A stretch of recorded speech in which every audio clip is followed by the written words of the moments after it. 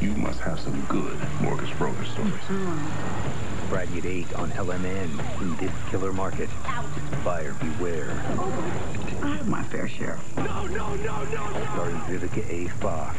The blood prints, the DNA. There's some weirdo in my room. I picked the wrong real estate agent. I told you the first number is always the best!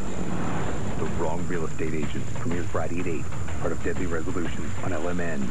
Sorry have kept you waiting.